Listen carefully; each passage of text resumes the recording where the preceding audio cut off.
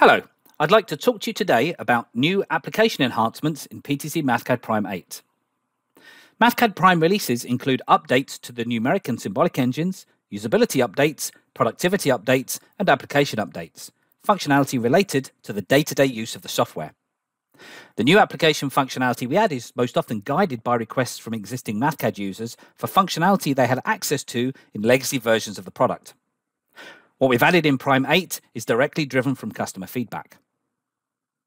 In PTC MathCAD Prime 8, if you redefine an already defined identifier in your worksheet, you will now get a warning to let you know. This includes both built-in and user-defined identifiers such as variables, constants, and functions. Sometimes this redefinition is intentional, but for cases where it's not, being able to see that it's occurred is critical to the calculation integrity of the worksheet. We have added a partial derivative operator to the operators menu that you can use to represent partial differentiation in your worksheet calculations. You can choose to display a border around the page view, header, and footer to frame the contents in those sections of the worksheet.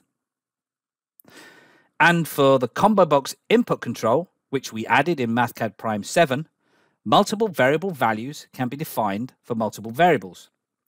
So in PTC MathCAD Prime 8, we have added the ability to copy paste multiple variable values directly into the combo box edit mode. Many thanks for watching.